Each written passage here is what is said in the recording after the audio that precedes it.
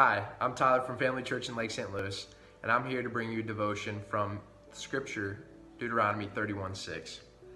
It says, Be strong and courageous. Do not be afraid or terrified because of them, for the Lord your God goes with you. He will never leave you nor forsake you.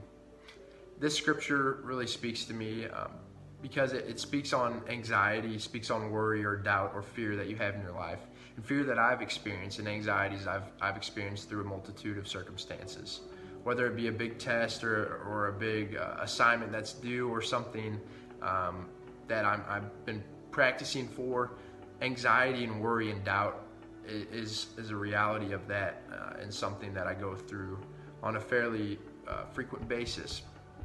And I've learned to combat these, these tendencies through lots of prayer, uh, devotion, and studying my Bible.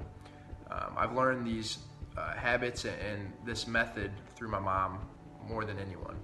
And she's uh, encouraged me to continue to pray in, in times of struggle and times of need, uh, but most of all in times of worry and doubt and fear. Um, this, more than anything, encourages me and gets me through those times and allows me to perform to the best of my abilities and, and truly to the abilities that, that God has created me to be.